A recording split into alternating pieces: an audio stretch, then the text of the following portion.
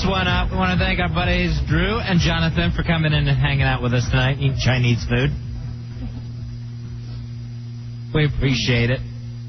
Hey, uh, Rory, get a hold of uh, Tracy. He's going to come in tomorrow night to do the OCD show. I love OCDs, Fez. OCD, it's uh, it's the best. It's what I live by. I don't have it nearly as crippling as uh, people you see on TV, but I got stuff that I always have to do, and that is my absolute. I think it's crippling. I think the stuff that You have you, think have. I'm crippled by it? Yeah, I think the stuff that you have is crippling. Hey, I had a lot of fun talking about this stuff tonight. I love. You know what I love to bring uh, one night was like uh, somebody who really understands like quantum physics and just let them blow our mind for a couple hours. Just tell us all the crazy stuff.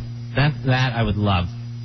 I've Put always been wormhole. I've always been obsessed with time and how how that whole thing even works and why it even makes sense that it would go in one direction. It doesn't really. I mean, they haven't. I thought I think it spirals as well. Well, I don't know if it spirals, but uh, the way they had it um, drawn out in the Stephen Hawking book was more like it can fold over on itself. See, kind of like a burrito. Yeah, I did not get the burrito. I was completely lost in that in the Stephen Hawking book. That's like a time warp. It got bent. So does that mean we can time travel?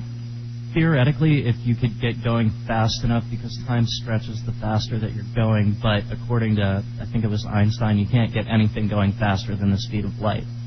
So What did he know? They didn't have anything faster than a uh, Model T when Einstein was around. I'll tell you this though, I've always kind of. You ever read Slaughterhouse Five? yes, I always th- think that maybe you'll just wake up and you'll be a little kid again one day. You know that you'll go to sleep at night and you'll wake up and you'll be at that spot in your whole life. That would be cool, I guess. Probably not. I don't know if I would want to grow up again. No, who says? Then the next day you might wake up and you're 25, and then the next day you make, might wake up and you're 68. That you're all part of that one long line anyway. I mean, time is definitely tangible. The fact that when you're having a bad time and it takes forever for, like, let's say an hour to go by, but if you're enjoying something and an hour is up like that, there's got to be something there and not just your mind. Yeah, that's a really good point. they So that the cultivation of boredom in Catch 22. You practice time control through the cultivation of boredom. I don't know what that means. And I mean, just think of it this way: Haven't you ever just shut your eyes and you woke up and opened them again the next morning? Yeah. You know, I mean that sleep time is not the same as any other time. How you doing with the antimatter? Are you okay, honey? I'm I'm okay. No. I'm all right. I just wish I could explain it more. I I really don't remember the whole thing. Well, it's hard to That's take- the basis of Here's it. the problem. I'm a girl. I'm not supposed to remember I know, and it's hard to take you serious when you have tape all over your one ear. Your earphone. When they're taped to your head like a Now Princess you- Leia costume. Now, now you look like nerdy girl. Hey, here's a young man who agrees with you. Eugene said you did a good job with the antimatter talk. Eugene, you're on Ron and Fez. Uh, hey guys, there was some truth to her words, but the whole antimatter thing isn't exactly like true. All right. Turn, turn your radio down. Oh, all Now you're going to sorry, teach us about physics. He's like one of these little smart right, kids. guys. Since the, the universe is infinite, right? Yeah. Basically, there's at least a mathematical probability that on a planet, there's a planet somewhere else in the universe that's exactly like ours, where everything is happening on our planet. All right, wouldn't that be called Earth 2? Yeah, basically. All right, now wouldn't there also, if we're going to believe that there's infinite possibilities there, wouldn't there also be people who look like us except for they had horns growing out of their heads? Yeah, there's. I mean, if we went planets- on for on forever, you're saying there's nothing but Earths out there, one after another. So anything's possible. Mathematical probability has to have like planets where there's going to be a person just like us. Oh, I- There'll only be like a small difference, like maybe one plant will be in a different place. All right, I can understand there being other planets like Earth that they're set up, you know, the same distance from the sun and they have the same things around them, you know, physically the same. But why would that mean that the people there are exactly the same as this Earth? Because the mathematical probability, since the universe is infinite, there's got to be at least, you know, there's a 100% chance, if the universe is infinite, that there's another planet exactly like us. You see, that, uh, you know, I'm not even buying that, but it's so far away. I mean, what if one planet, for instance, didn't have a Hitler and there was no World War II? I mean, or Well, then that'd be one small difference. But then there'd be a planet where there was a Hitler. Right. Maybe the difference would be maybe And then- you know and it then- was a Russian guy. And then just think, there's that planet with the girl who broke your heart actually left with you, wow. and then you two are still together.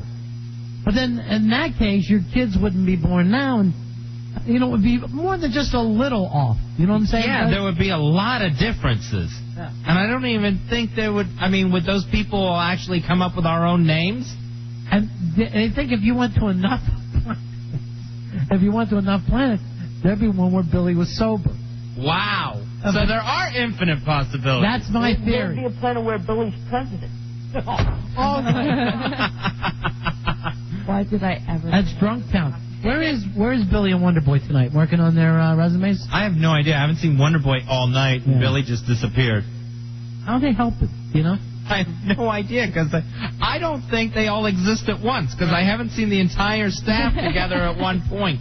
I think Mikey and Rory keep changing uh, Billy and Wonder Boy masks. Mikey is the one who seems like, hey, I want to be here tonight. Everybody else seems like I could take it or leave it. Rory's busting Fez's balls. I with know. black We and are, white. on, We're in through the looking glass here, people. we are on Earth too. And uh, guys, uh, just to talk about uh, what uh, the teacher was, I forgot, Meg the teacher was Yeah, talking Meg about a while ago. The nanobots Yeah. is what they're called. Um, Banana basically- bots. Yeah, they're called Nanobots, nanobots uh, because the size of the nanotechnology. nanometer. Yeah. Uh, basically, if they are perfected, there would be no use for robots anymore, though. Why is that?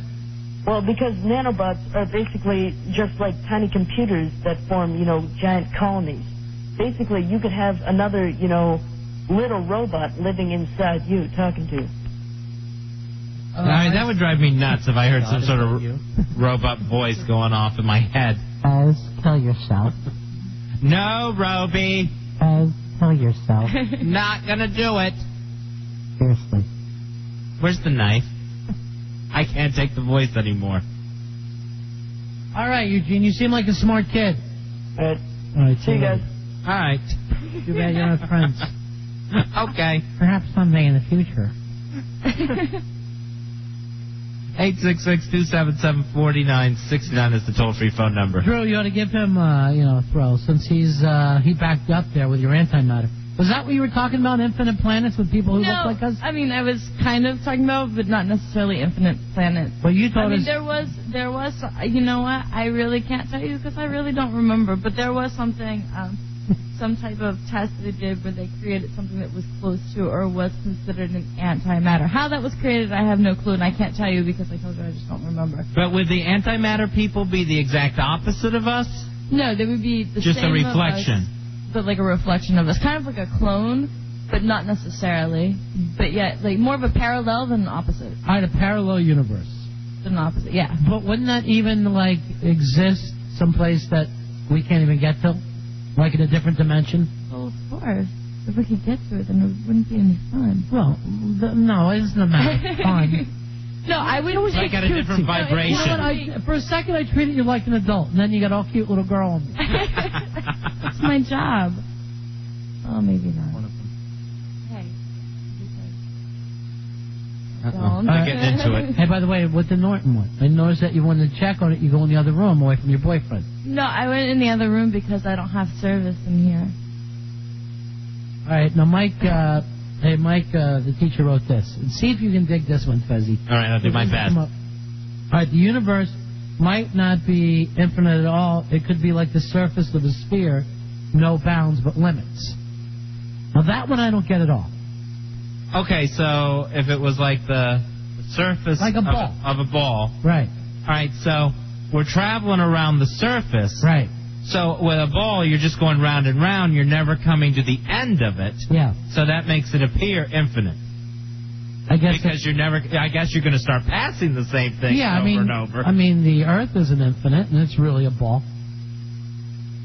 but at the I have a great size, time anyway.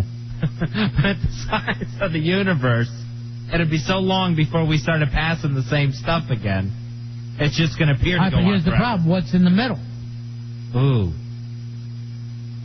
Like a big black hole. I don't know. I think it would be like a jelly donut of some type. I think there's jelly in the center of the universe. Some raspberry jam filling. Would be the absolute best. And then, so I guess then uh, you. I wonder how long it would take to get around it. And then, what is that sphere contained in? Like, what's holding that ball? Yeah, yeah, another good point. I mean, So- is it like Christmas tree ornaments? There's a bunch of ball universes all hanging together on something. I can't figure it out. I wanted to get to the end of this by the end of the show tonight. I want us to be able to figure it all out. But we do have to go instead, Fez, and that's that's too bad. I really wanted to think we would know what the universe was about. Now tomorrow night, uh, among other things, we're going to get into OCDs, and I love that, man. The obsessive compulsive disorder. Why do you love that? I just love to see people have to deal with it. That's not cool. Do you do you have to do you have any? Yeah, What do you there are certain things. What do you got? Certainly You has know nothing what? to do with cleaning. No, it has nothing to do with Oh. it. at cleanliness. Well, that's why I have him around, so he can clean the house for me. Um, no, mostly like it, it was worse when I was younger because you can learn to control it. But mostly patterns. Like a lot of people talk about numbers, and I don't really have a lot of numbers, but mostly patterns. Like, what- even what do you do? patterns and stuff. I don't really do much anymore because I, I control what, it. what do you do with the patterns? with the patterns, just like there are certain ways. Like when I went to school, if I walked certain ways to school, I would know. You know how like they have the concrete slabs, and Yeah. there's certain amounts away. I would know each pattern of each step that I took, and if it was off pattern, then I have to go back and start over. All right, so you're I saying the pattern is you had to measure your steps.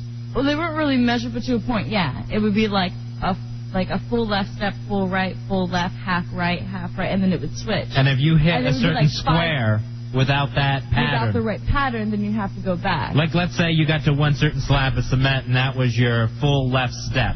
If you hit that with a right, right foot, foot, then something would be wrong. You have to go back at least one panel or whatever, whenever the pattern got messed up. it's amazing you ever got to school. Here's what I always wonder about. What were you thinking in your head that whole time? Left foot, right foot, left You just- foot, you right get foot, used to the left foot, right patterns. foot. You don't really think like left or right. There's just it's like this one, that one, this one, that one. I don't know. So I don't know how to explain. And then like it's like with numbers too. When I was learning to do like mathematics and stuff, it Mhm. was set up like um, kind of like wars where they were battling each other. I still think that way. Which that is really numbers weird. go to war with each other. Yeah, it's weird. I know it sounds crazy. Hey, tell me about it. I want to hear it real quick. No, no, no. Who would fight? No, it wasn't like fighting the who would fight or whatever. It's like um, if certain numbers were together, like they were multiplied together, and they would be a higher number, and they would be stronger, like they were an army, and then Uh-huh. army, and then they can take over other numbers. I find your insanity so sexy.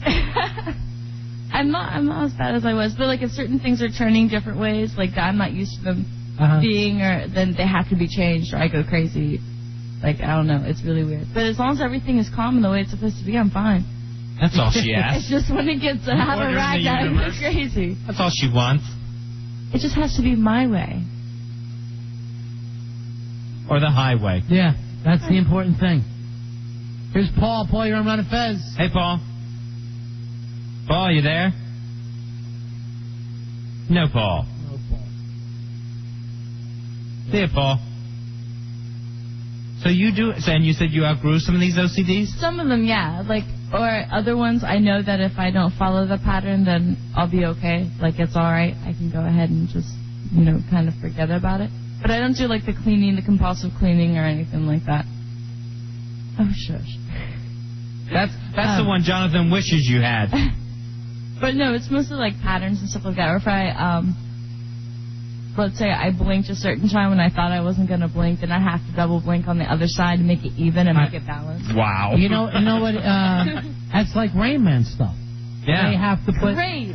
They have to I'm put something. No. savant now. Uh, yeah, well, not so much the savant part, but the autistic part, is where like if they have something in their right hand, they have to have it in their left hand. Because it's gonna it's gonna be balanced. Or if you put something down and you hold it for a certain time period of time, then you have to do it in the other hand. Or if you have a pattern and you put your hand down like on your right leg, you have to do it on your left. If you do it with an extra finger, then you have to do that on your right. I- I and you have love- to keep doing it. Here's what I love about it. She tries to explain patterns like the rest of us understand. Right. And, you, and you're like, we even were going, honey, what do you mean by pattern? You know, like your pattern walking the store. Patterns, you I- know, I patterns. would- Certain, there's like a certain gait that you have. There's a certain way that you move. There's a certain like type of weight that you put on each foot and on each leg. There's a certain way that you step down. There's a See, like- never mind. See, like I have that with the hands and uh, like water. Like, let's say you're going to reach into something and maybe pull out a soda and your hand got wet doing it.